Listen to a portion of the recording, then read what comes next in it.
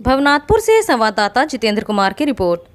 भवनाथपुर के सामुदायिक स्वास्थ्य केंद्र भवनाथपुर में भर्ती किया गया, जो केतार प्रखंड के दासीपुर मटंगवा मोड़ के पास ट्रैक्टर और बाइक के बगल से टक्कर हो जाने के कारण मोटरसाइकिल सवार दोनों लोग गंभीर रूप से घायल हो गए थे।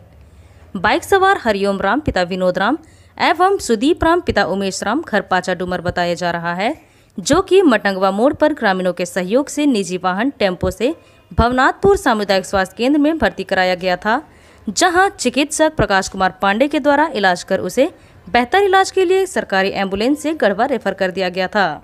साथ ही मोटरसाइकिल पर दो सवार थे, दोनों को स्थिति नाजुक देखते हुए उसे गढ़वा रेफर कर दिया गया है। जी, अभी सर